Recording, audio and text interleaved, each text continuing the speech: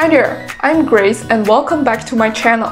Today in the A Plus series, I'm going to share some personal tips on how to excel in foundation studies and ace in various assignments.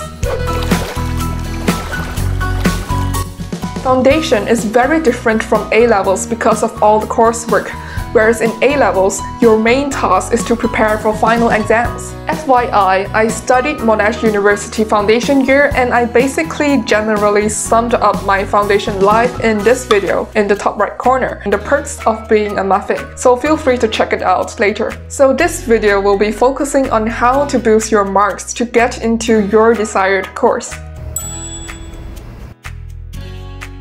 In my foundation studies, I was exposed to various assignments like group projects, group presentations, lab reports, poster design, video production, and the list goes on.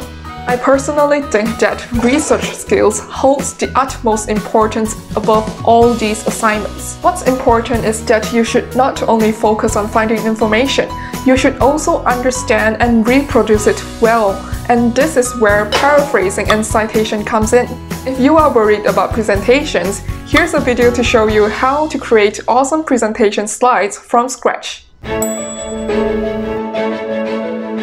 I personally think that the ultimate way to score high marks in every assignment is to stick strictly to the rubrics. For example, under the big section Scientific Concepts in the lab report, if it specifically tells you to include 2 to 3 relevant citations, make sure you do it. Work may seem scary to a lot of people because of various reasons, but it is actually a very good opportunity for us to understand different types of people, compromise each other, learn ways to communicate, and to achieve a common goal together. Problem-solving skills are fundamental during group projects because difference in opinions must occur. So good communication skills also comes into place. Remember to try to engage every member in the group so that everyone is contributing. And always be proactive to start the project early and don't wait until the last minute or else. You shall not